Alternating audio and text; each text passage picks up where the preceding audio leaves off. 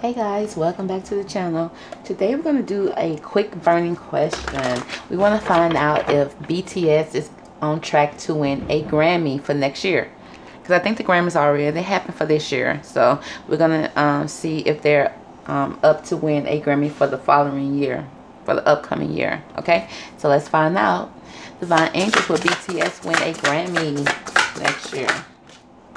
We have so much to celebrate. Send gratitude to the divine and the angels for the peace and prosperity coming into your life. Peace and contentment in your personal life. Okay. So they said so much to celebrate. So, so far so good. We're going to pull a total of three cards. So let's see. Will BTS win a Grammy? Oh, there's too many. Oh, I just want two more cards. Okay. Like that.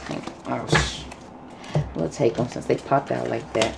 Okay, so we have so much to celebrate. We have um, children or childhood, revisiting old dreams or plans. Okay, so we do know the Grammys something that you know being in this k-pop group and winning awards and being successful is a childhood dream of theirs okay? Because there's so much to celebrate in their life. They are planting their seeds right now. They are right now. It's like it's almost like everything they do is geared towards winning this grammy for the next year. So they're making sure that everything is in order okay? So they are investing in you know where they need to invest they're practicing they're being patient okay and it says the time for resting and planning for the future okay but there is some unnecessary worries it's like everything they're doing is like they're worried about this it's like they're they having sleepless nights because they're so geared towards winning this grammy it's like they're full focus on it because it's a childhood memory a childhood um, dream of theirs. Okay. The last card we have is a windfall of abundance,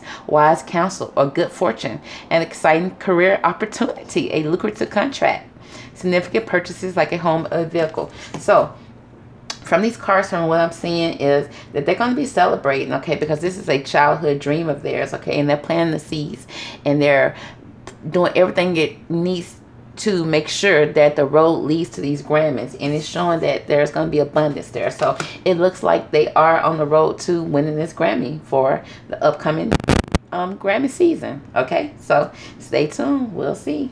We wish them the best of luck. Okay, thank you for tuning in. Don't forget to subscribe because you don't want to miss another burning question.